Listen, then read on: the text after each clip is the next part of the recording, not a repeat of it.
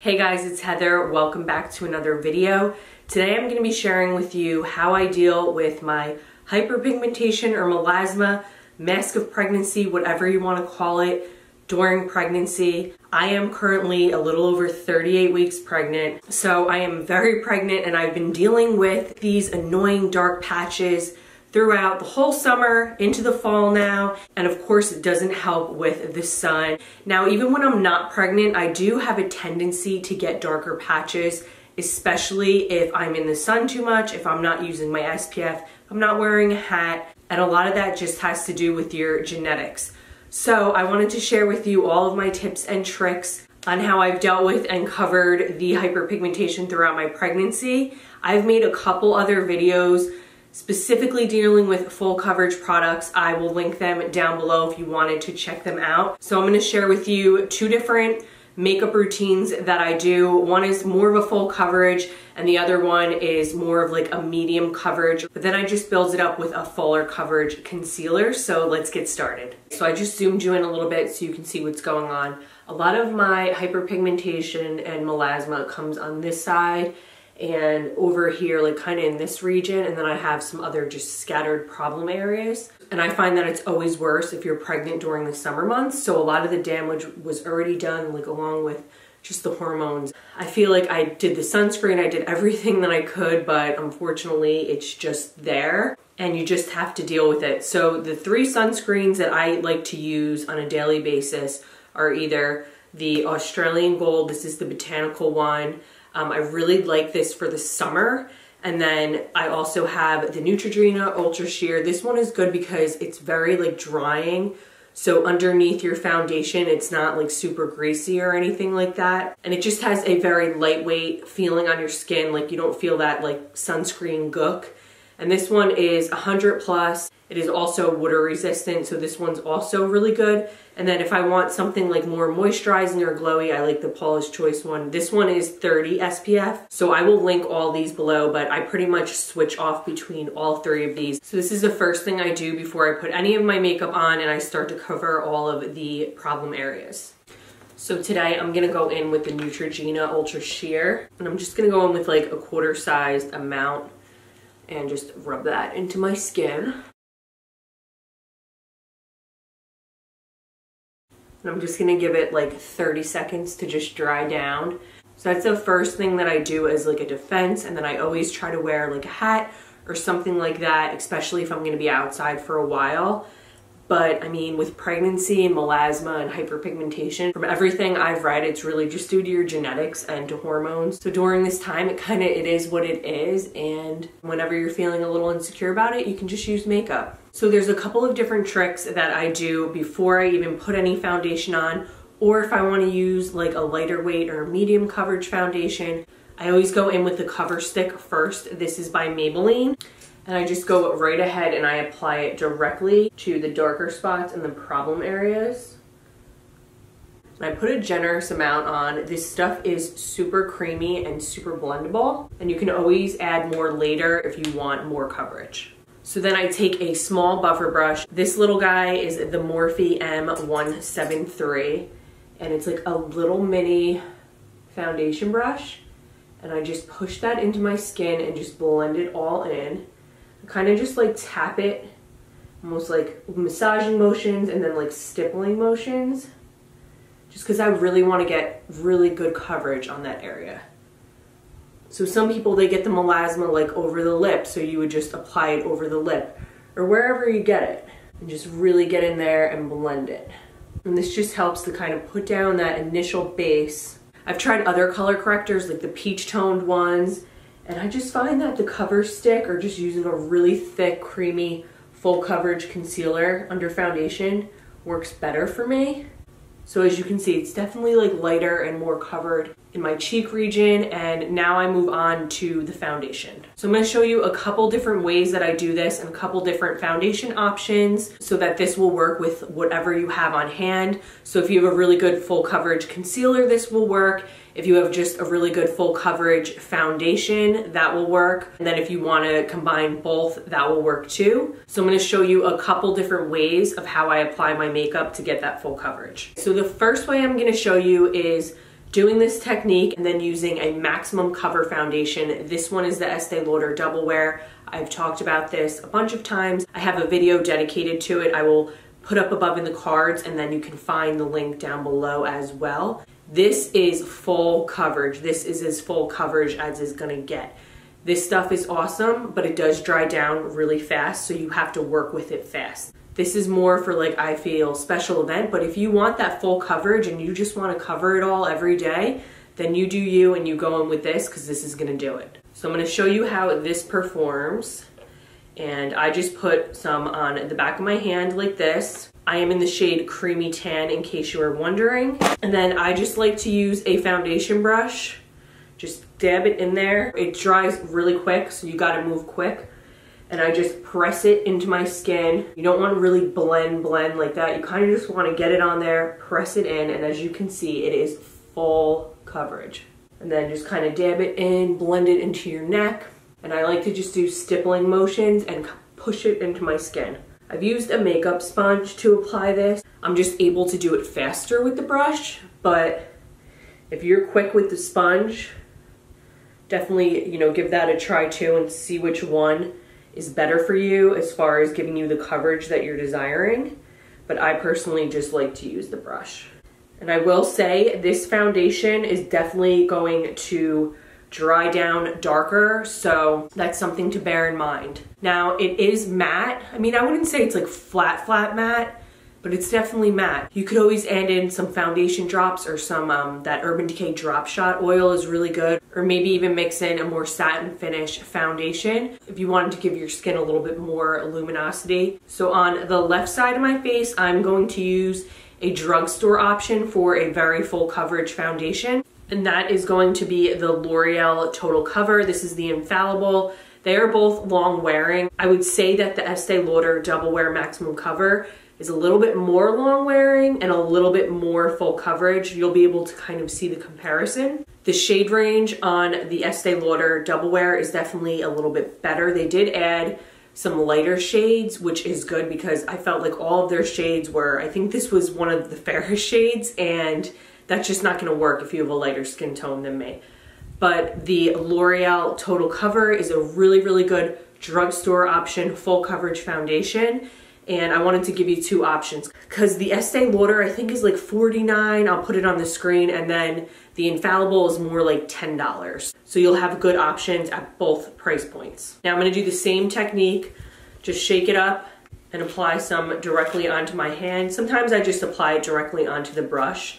I'm gonna give you a close-up and this is the shade 305 and I'm just gonna show you. It is very moussey and thick where the other one is kind of more creamy, but they do both feel like very lightweight on the skin. So that's all that's important. So I'm just gonna apply what's left on my finger there onto my skin. And then I'm gonna go back in with another foundation brush, same type of a brush, and just work that in. And I'm doing the same technique with just pressing it into the skin and just kind of stippling.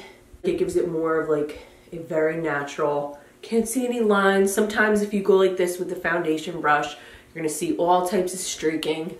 And again, I'm just kind of blending it into my neck and down the hairline. Okay, so here are both products on my face. Again, the right side is the Estee Lauder Double Wear, and the left side is the L'Oreal Infallible Total Cover.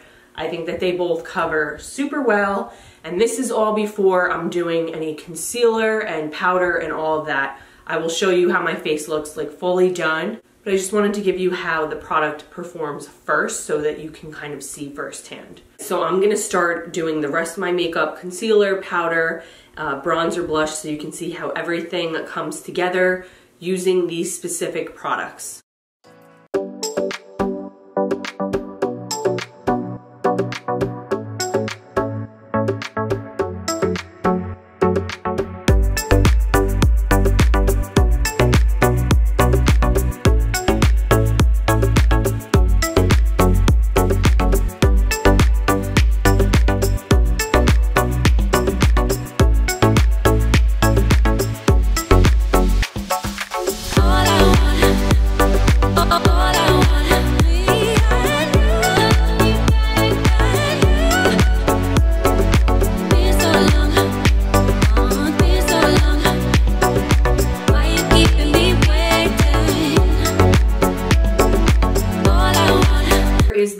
Completed look with using the very full coverage and using that cover stick first. Now as you saw, I just did like all of my face products. I didn't do anything on the eyes yet. I just wanted to kind of show you how the face makeup sits on that and how that looks as far as full coverage. Now I did add the highlighter in just to kind of give my face a little bit more luminosity. And then I use some setting spray to kind of just help break down that powder so that it doesn't look super matte. Now we're gonna do the second look where I just use foundation, just like a medium coverage foundation, and then I just use a spot concealing technique on top of the foundation so you can see how that covers. So we're gonna start on my typical second makeup routine that I do. I already have my SPF on, so what I typically do is just use a regular foundation. So this can be like anything you have on hand. So for me, it's typically this L'Oreal Infallible. This is a 24 hour fresh wear. I really like the shade. It is a little light for me right now. So I have been making it work and mixing it with the CoverGirl Healthy Elixir in Buff Beige.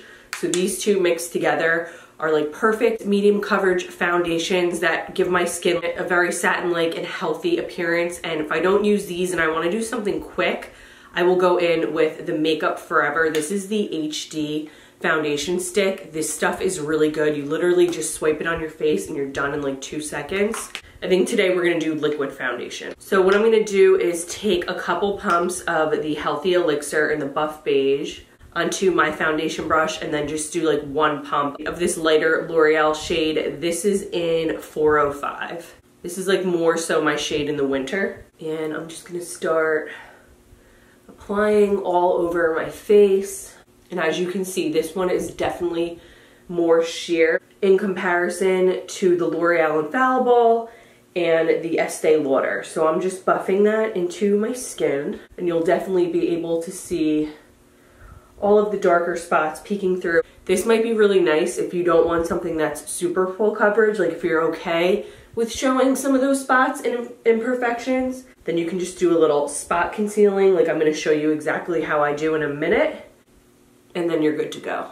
So you should be able to see that this definitely provides some coverage, but you can definitely see the darker areas peeking through. So here's where I like to go in with some full coverage concealer. I personally love the Tarte Shape Tape for this, but Makeup Revolution makes a really good drugstore creamy concealer that I like for this as well. I don't like it as much for under the eyes. I find that it does crease a little bit on me, more than something like the Age Rewind does, but the Tarte Shape Tape is really, really good overall. Works really good under the under eyes and it also works really good on covering up any darker spots. So I am just taking the shade light medium and I'm just applying that to the spots that give me a hard time. And I'm applying a generous amount.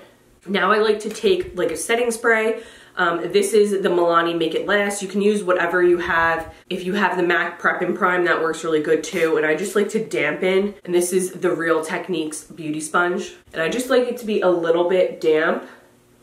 And then I just do a patting motion and just kind of press that concealer into my skin. And for me, typically it only takes like one layer and I'm happy with the coverage. Now this look is just a little bit more natural more kind of peeks through on the rest of your face and not all of your problem areas.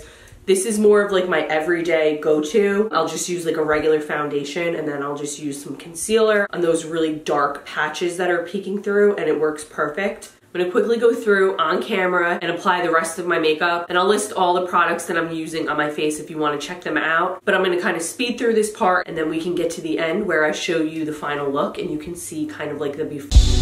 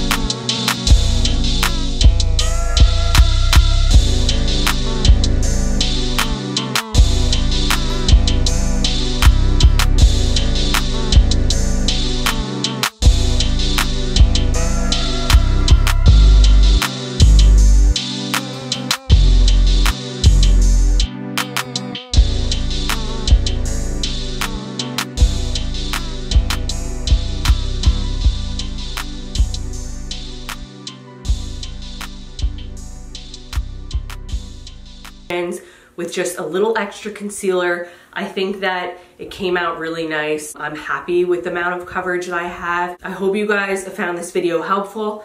Definitely comment down below, leave me any questions. Let me know what your favorite products are for dealing with your melasma and your hyperpigmentation, especially during pregnancy, since there's a lot of products specifically in a skincare routine that we cannot use during this time. And I will see